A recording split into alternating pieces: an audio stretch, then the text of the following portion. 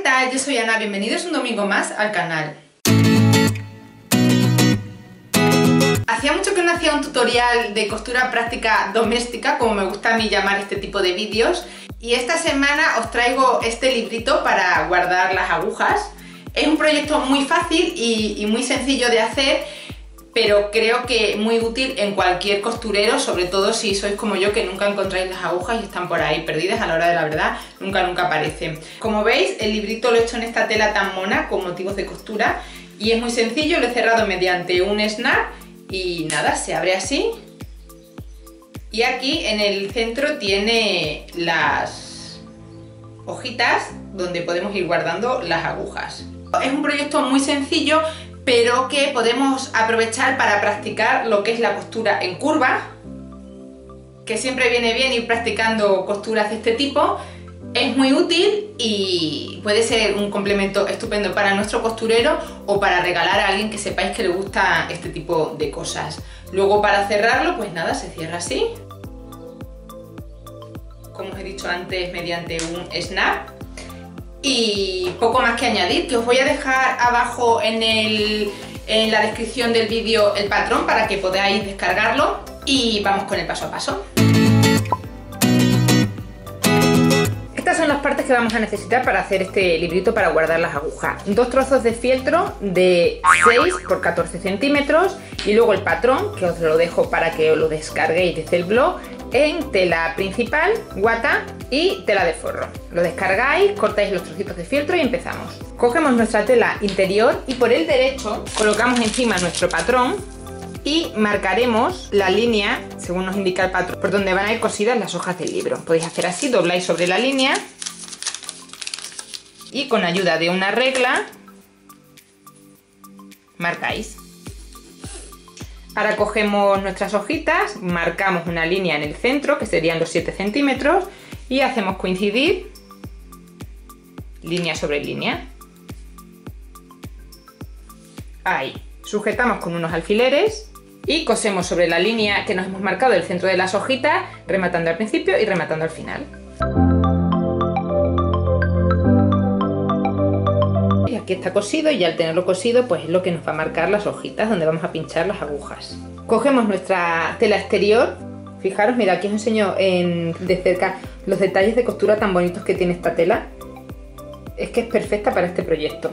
Y como os iba diciendo, enfrentamos derecho de la tela exterior con derecho del el forro y las hojas del librito.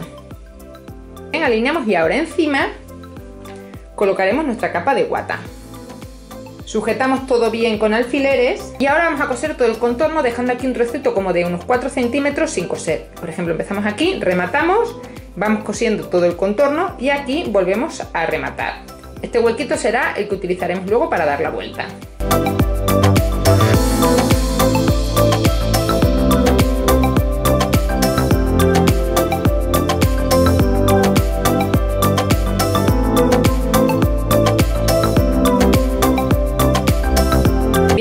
Tenemos todo cosido, aquí en, las partes donde llega la curva, aquí, aquí en estas cuatro, vamos a dar unos piquetes, así, sin llegar a la costura, para que ahora al dar la vuelta nos doble y nos asiente bien. Ahora daremos la vuelta teniendo en cuenta que tenemos que dar la vuelta dejando la capa de guata en el medio, es decir, por aquí. Vamos recogiendo poco a poco y lo vamos sacando. Bueno, cuando lo tengamos así, tenemos que sacar todo bien y ahora vamos a pasar un pespunte muy al filo, como hacemos siempre, para dejarlo bien asentado, bien asentado forro y exterior y cerrar este huequito que es por donde hemos dado la vuelta. Para terminar yo voy a ponerle aquí un snap que os voy a dejar abajo en la cajita de información en una etiqueta el enlace al vídeo que hice ya hace tiempo sobre cómo poner snap y dónde conseguirlos y todo y, si queréis estar interesados, pues vais y lo veis. Y si no, también pues podéis poner un botoncito, un trozo de velcro, lo que vosotros queráis.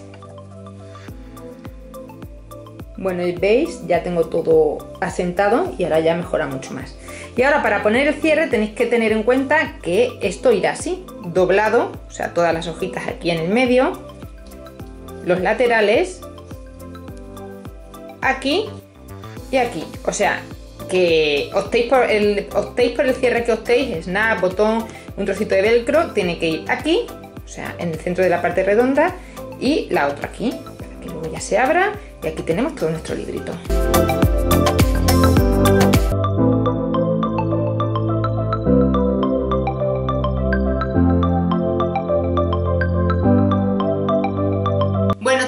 Esto ha sido todo por esta semana. Espero que os haya gustado, que os haya servido, que os haya resultado útil y que os pongáis manos a la obra para que ya nunca más una aguja esté fuera de sitio.